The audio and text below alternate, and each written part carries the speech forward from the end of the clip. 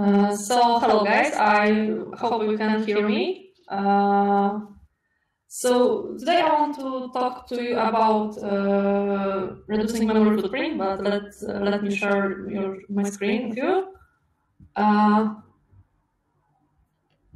okay, I hope you can see it. Uh, okay, so in this presentation, I want to share with you some tips on um, uh, on how to reduce memory footprint of your app.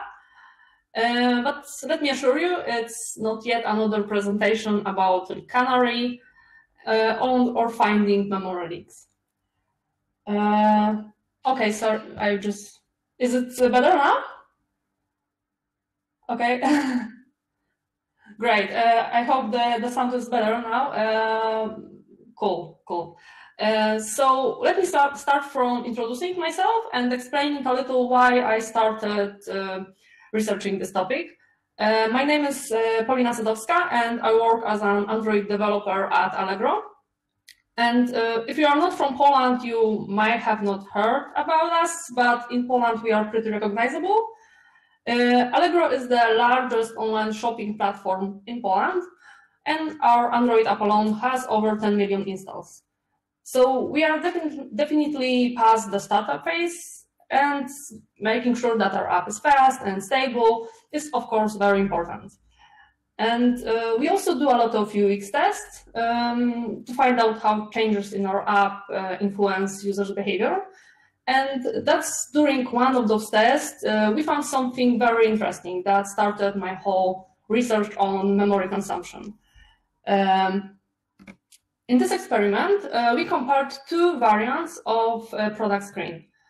Uh, in the first, variant, uh, product description, uh, you can't hear about the, is, is the echo still there? click the sound off. Okay, one, one second, sorry. is it better now? okay, cool. I, I hope we it will be better now. Sorry about that. Um, okay, so uh, cool. Uh, so as I said, um, in this experiment we compared two variants of product screen. Uh, in the first variant, uh, product description was uh, cropped at the bottom and consisted only of text, and user was able to see the uh, full product description with images but on the separate screen. And in the second variant, a full product description was uh, displayed uh, alongside with all the images on the same uh, activity that other informations about the product. And um, as it turns out, um, as it turns out, uh, the second variant was definitely better when it comes to conversion. So you should obviously uh, implement that in our app. But also, unfortunately, we noticed that in this variant, number of out-of-memory errors uh, is significantly higher, especially on low-end devices. So uh, that's where my job began. I got the chance to spend some time looking at this problem and see what we can do about it. Uh, the main problem with fixing out-of-memory errors is that the stack trace within crash reports hardly even pinpoint the real cause of the problem. Well, very often, uh, excessive memory consumption is not caused by just one big mistake, but by many smaller or bigger non-optimal decisions which just quickly add up and finally app crashes. So what are the ways to deal with those problems? Um, the, uh, one of the approaches is to use LeakCanary the tool that can notify you about possible memory leak while you are using your app in debug variant. Um, if you open that notification, in LeakCanary app, you can see exactly what field leaked and what was the cause of that leak. A similar function is also now embedded in Profiler. When you make memory heap dump, you can select uh, this checkbox to see what activities or fragments are probably leaking. So that's one of the one approach. But as I mentioned, I work in quite a big company. We are using LeakCanary for a very long time. So neither by looking at LeakCanary nor by looking for possible leaks in the profiler, well, I, I found nothing. Uh, but does it mean that everything was fine? Definitely no. The out-of-memory errors were still there. I just needed a, a little bit different approach to get rid of them. So I decided to go through the basic path that leads to product screen and just look into memory heap dump uh, to see if there is anything suspicious. So I opened our main page, scrolled it a bit, typed some search phrase and open search results page, uh, then clicked on the product and open product screen, and just look uh, at uh, memory heap dump. And when I was looking at it, I found something very, very odd. Just look at the number of bitmaps allocated in the memory. It's over 150. There's no way that in product screen alone, we display over 100 bitmaps. And it was after disabling memory cache. It got even more suspicious when I started looking at what bitmaps are stored in the memory. This image, for example, uh, if you were looking closely at the path I was presenting to you, you might have noticed that this image was not displayed on the product screen. Uh, it was not also not on the search results page. Uh, it was displayed on the main page at the very, very top here.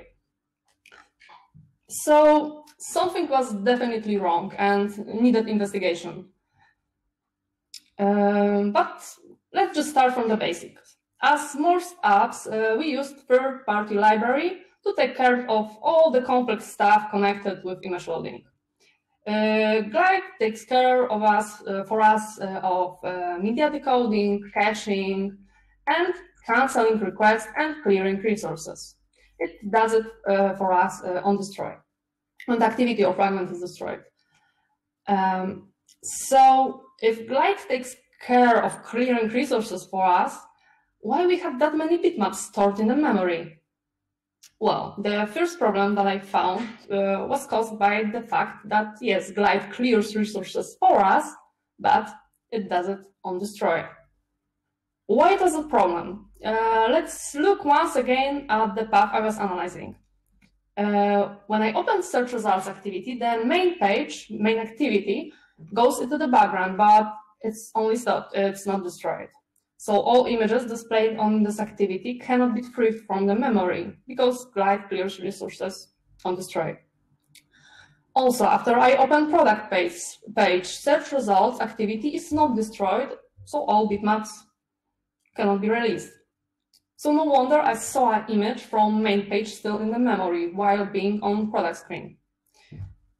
But why Glide does that? Because it's obviously not a bug.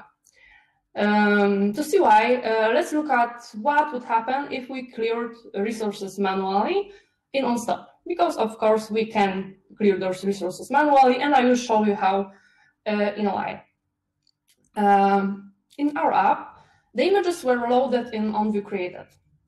When we open search results page, OnStop is called in main page activities, so resources are manually freed from the memory as we agreed. Uh, but what will happen when we press back?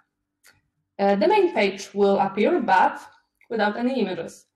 Uh, that's because the images were freed from the memory and they were not reloaded because OnView created is not called in that case. Uh, it doesn't mean, of course, we cannot clear resources on stop. We just have to make sure that images are loaded in on start or later in on resume. Uh, so that way, when we go back to main page, the images will reload and everything, everything will look perfect. Uh, well, almost perfect. Um, it might not be visible for all users, but because the image has to reload, uh, uh, it might not be available right away, especially if uh, this image was removed from cache. Uh, so this image might not be uh, visible for for a user for a bit. It might be visible for a user that um, that this image reloads. It doesn't, of course, uh, have to be a deal breaker. It's just good to be aware of it and decide for yourself if it's okay. Um, okay, so to manually clear, clear resources in Glide, you just uh, you can just use clear function, which will cancel cancel all pending requests and free all resources. Uh, in Picasso is a little differently. Uh, you have to call cancel request function to cancel all pending requests and call a set image drawable with null to free resources. Um, okay, so that was the first finding that, that allowed me to save some memory. Um, the second problem that I found was not directly connected with how images are loaded um, or freed, but how recycler view works, or precisely how recycler view pool works. Uh, when we scroll recycle view and the item goes off the screen, it's not removed from the memory, but it's moved into recycler view pool. Thanks to that, when we want to display another item, the new view doesn't have to be created. Recycler view just reuses views from the pool, and that way scrolling is a bit more smooth. Uh, it gets a bit more complicated when we have multiple view types. Uh, when we scroll and an item goes off the screen, it also goes into the pool. However, if the next item does not have the same type as the one stored in the view pool, uh, the new view has to be created. And the old view just stays in the pool for a while. And because of that, also in the memory. Only after we scroll a little bit more, the new view goes uh, off the screen, it goes into the view pool, and when the new, uh, new item view type matches uh, the old matches the old view that is stored in the pool, uh, this view can be reused. Uh, why am I mentioning this? Our main page was also implemented as a one big list in the recycler view, just with different view types. Uh, I highlighted those, uh, those different view types using different outline colors. So when the user scroll the page, uh, top views goes into the pool, like that. As, and there are views, the, the, those views are not removed from the memory. Uh, and because of that, also those images stay in the memory.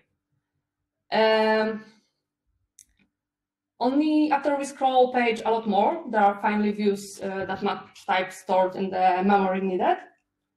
Uh,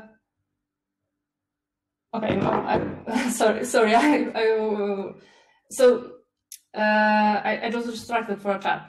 Uh, so um, only when we start uh, scroll page a lot more, there are finally views that match type stored in the memory needed. Uh, and uh, those uh, old views can be can be reused, and only then all old images can be released from the memory, like that. Uh, and this big one, this uh, big image uh, I found earlier in Profiler still stays in the view pool, so also in the memory, not because it's it was not reused yet.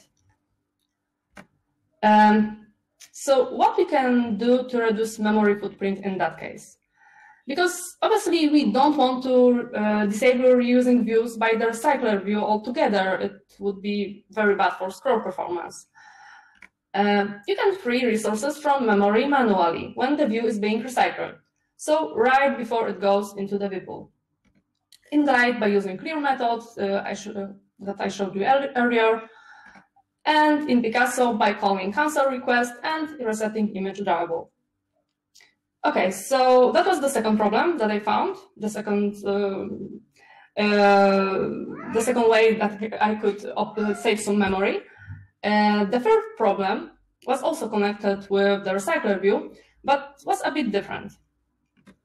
It was caused by the fact that in our, uh, in our product page, which also uses recycler view, product description was displayed as just one very long item on the list.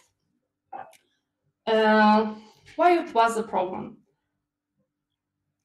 Well, when users scrolled product page and some portion of the description is no longer visible, it still can it still it still cannot be moved to the pool uh, because part of this item is still still visible.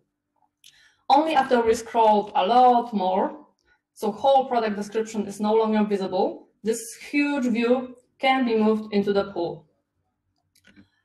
What's worse, this view cannot be reused because there is only one view of that type on this page. It can also be used to display the very same product description, so it's not very memory efficient. Uh, so what can be done to improve here? Uh, we can take this huge list item and split it into smaller chunks. Uh, thanks to that, when we scroll the list and uh, the views, especially I care here uh, about the views that contain an image, those views can be moved into the pool. Uh, of course, on those views, we can call clear before they are moved into the pool in OnView Recycle. Um, that way, uh, the references to bitmaps are not uh, not no longer kept. Um, and after that, this view can be reused to display another bitmap. Uh, okay, so I use those three findings and applied some fixes in our app. And what were the results of those changes? I saw some improvement, but unfortunately, on low-end devices, it was still not enough. On those devices, I needed to take more drastic measures to get rid of out-of-memory errors, and I found a way to reduce memory consumed by bitmaps by, by half on those low-end devices. Uh, have, how have I done that? I just simply decreased image quality for users with low-end devices. Uh, in our app, we use ARGB 8888 image quality uh, that needs four bytes to encode one pixel. But there is an alternative, RGB fix, uh, 565 uh, quality, which needs only two bytes to encode one pixel. Uh, so 50% less. Uh, it's not for free, obviously. Uh, this quality does not support transparency, and you can sometimes spot that images are not that perfect, especially on gradients. But to be honest, the decreasing quality is not that visible, even on gradients. I'm not even sure if you can see it on the stream. I tried to show it to you. I even zoomed on each, uh, each image a bit, but um, as you can see, the difference in quality is hardly noticeable, especially if you use lower quality on low-end devices alone. And the difference in image size is, well, significant. So how, how to change it? Um, Glide uses the slower quality by default, so you don't really have to change anything if you haven't already. Uh, but if you want to use higher quality or just add some logic to serve lower quality only to the users with low-end devices, uh, you can do it, uh, and you can do it uh, in Glide module uh, like that. In Picasso, it's the other way around. Uh, they use higher quality by default, uh, but of course you can change it while setting Picasso instance. Uh, okay, so just to quickly sum up all the things I talked about. uh, Glide and Picasso clear resources in on destroy, but you can manually on, uh, clear them on stop if you're sure that images will reload when user comes back to the screen. Um, because of how Recycler View works, you can consider manually freeing images from the memory on your recycler, especially if you use lists with multiple view types. Uh, if you see that some items on your list uh, are very high, especially if they hardly even fit on the screen, uh, you can consider splitting them into smaller chunks. And you want quick results and don't need transparency, you can just reduce image quality. Uh, especially for users with, in, with low, low-end devices. Okay, so that will, would be all. Uh, you can ask me some question on Slido, or also you can find me on Medium if you want. Uh, here is my email if you want to write write to me. And if you want to join our team at Allegro, just check out our job page here. Uh, so that will be all. I think I will uh, I will show your questions, or should I just uh, just uh, show the link to Slido? Okay, here. Um, how to prevent those uh, issues from happening again? Uh, sorry. Oh, I made a little inception. Uh, well, how to prevent those issues from happening again? Um, well, uh, well, it's uh, it's very hard, especially if you work on a really big big project, uh, uh because uh, well, you you just have to. Well, I, I don't know. Just uh, looking at uh, at your code at pull request and I don't know maybe maybe educating everyone because I, I think in big projects you are well not not able to to see everything and to like well uh, it's it's really hard basically and uh, and I, I'm not I'm not sure what, what else to tell you uh, for for you uh, again. Yes, my, my cat really enjoyed this presentation. They also uh, well well uh, they okay. So maybe the the next question. Um, um, if you uh, if you if you don't mind, I, I will just uh, I will just answer the the new new, new one about uh, how to determine the device's low end in your app. We just simply uh, checked uh, what version of Android they have and uh, how how much RAM RAM they have available. But we didn't hard coded it in into our app, so it's um, it's like part of the configuration, really. Um, and uh, the, the, the next question, maybe the the one from the top. Uh, yes, the cat definitely wants the applause. Uh, if the image is already loaded from Glide and um, it is crawled and you want to replace the image, drawable one, it will load again. Um, Yes, uh, this, the image when, when we're scrolling uh, the list, uh, the image will reload, but it will reload. Uh, um, it's uh, the the whole point was that uh, to show that um,